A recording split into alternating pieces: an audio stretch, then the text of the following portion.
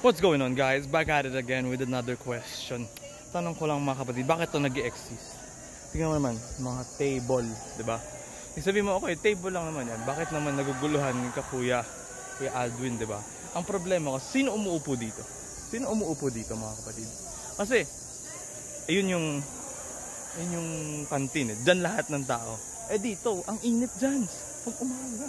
Ay, bila, di man bilis sa araw kasi may, may, may puno, di ba? Pero like, sino makakain dito? Ang dumi, ang dugyot. Tingnan sira-sira. Oh, the hell? Sira-sira.